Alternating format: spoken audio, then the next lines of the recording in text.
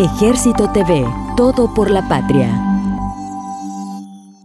Del 25 de junio al 2 de julio de 2020, efectivos militares, unidades de superficie, capitanías de puerto y puestos de control de embarcaciones del Distrito Naval Pacífico de la Fuerza Naval del Ejército de Nicaragua brindaron protección y seguridad a ocho buques mercantes, contribuyendo de esta forma a la exportación de más de 13.000 toneladas métricas de mercadería en general. Además, se importaron más de 10.000 toneladas métricas de mercadería en general, más de 15.000 toneladas métricas de diésel, más de 3.500 toneladas métricas de granos, más de 9.000 toneladas métricas de fertilizante y 328 vehículos. Además, se brindó cobertura a siete buques de la flota pesquera industrial, contribuyendo a la producción de 14.600 libras de camarón y 1.700 libras de pescado. El Distrito Naval Pacífico de la Fuerza Naval del Ejército de Nicaragua cumple sus misiones y tareas. Todo por la patria. En defensa de la patria y la institución. Firmeza y cohesión.